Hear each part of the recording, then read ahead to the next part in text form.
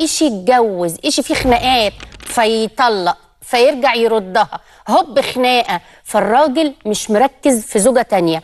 يفضل حاله كده لحد ما يعجز ويبقى الراجل البركة. يعني أنت- ويكره نفسه ويكره الجواز ويكره عيشته. آه. ونسميه بركة. هي ست واحدة كده. بتكره الراجل في حاجة. صح. دلوقتي اللي هو. اللي هو انت آه. بس جوزي بس انت رحتي ورجعتي كده يا بدرية ولا انت واخدة الخط دغري؟ في إيه يعني انت بتقولي بيقعدوا بقى يتطلقوا ويرجعوا كده أنتوا اتطلقتوا ورجعتوا لا ولا ما صمدون؟ وصلتش للمرحلة دي. إنما في خناقات طبعا فيش يعني جوازة على فيش. طول مفيهاش مشاكل. ما فيش فيش جوازه ولا ما فيش لا هي بس الميم اتاكلت ما النص. خدت عشان انت. بتسأليني أسئلة يعني معلش. نتكلم فيها نتضرب فيها يعني